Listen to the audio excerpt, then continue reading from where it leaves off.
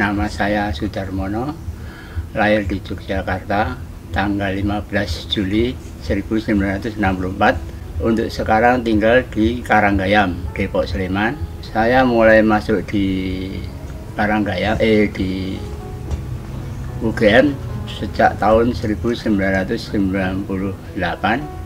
Pada waktu itu saya sebagai penjaga gedung di asrama Kopma UGM yang terletak di Karanggayam, Sleman. Pada waktu itu saya punya langganan dari eh, koordinator penjaga gedung di asrama Cemara 5. Beliau sering jajan di warung soto Karanggayam tempat saya berjualan. Kemudian beliau menawarkan pekerjaan.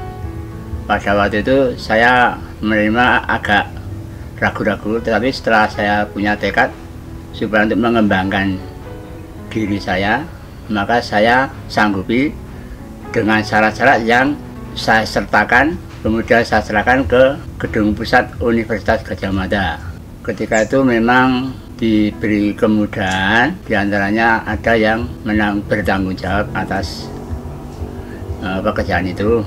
Kesulitannya pada itu karena syarat-syaratnya yang belum lengkap, maka saya melengkapi syarat-syarat yang belum dilengkapi, di antaranya belum menyerahkan pas foto dan lain-lainnya. Pada itu hanya ijazah dan uh, fotokopi KTP dan yang untuk SKCK dan lainnya belum bisa dilengkapi. Jadi awal perjuangan saya waktu masuk di waktu itu dari asrama Cemara 5 dari tahun 98 sampai tahun 2004 waktu itu pindah-pindah habis dari asrama asrama 5 dilanjutkan ke asrama Rananisih yang berada di Sagan. Kemudian saya pindah lagi setelah beberapa tahun di asrama Dharma eh, Dharma Putra terletak di timur sebelah barat eh, Stadion Mandala Krida. Nah, sejak itu kemudian saya ditarik ke pusat tahun 2004 pada itu belum bergabung dengan uh, PK4L pada itu saya masih ikut di bagian kemahasiswaan. Setelah sekitar tahun 2006 saya pindah mutasi ke instansi TURT dari 2006 sampai 2021 kemudian setelah itu uh, ada perubahan lagi.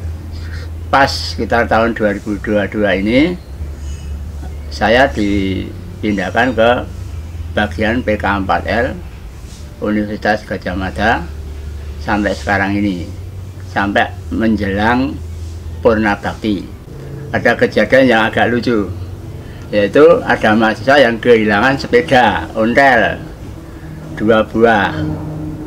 Nah, dicari-cari ke mana-kemana nggak ada. Terus akhirnya selang beberapa selang sebulan kurang lebih. Itu ternyata sepedanya dipinjam temannya teman yang anak mahasiswa itu tapi nggak bilang-bilang.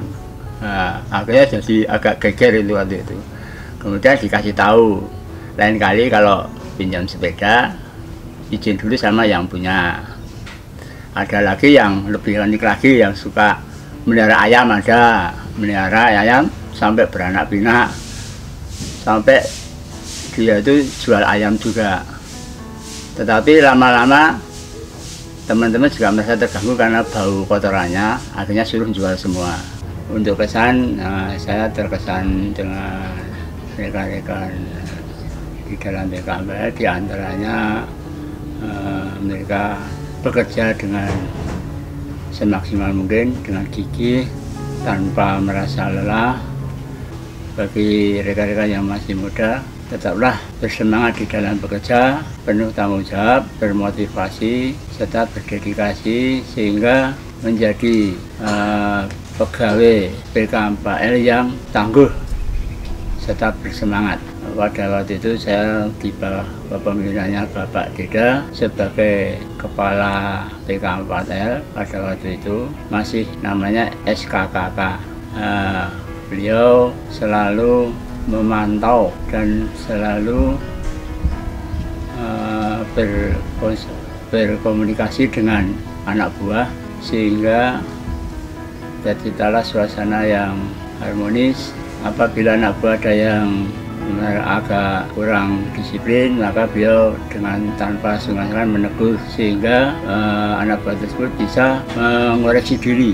Nah, setelah pernah tugas saya berencana mendirikan warung makan yaitu berupa keperayaan uh, harga sesuai dengan kemampuan mahasiswa sehingga terciptalah nanti suasana yang uh, enak masakannya enak uh, dagangannya juga nanti bisa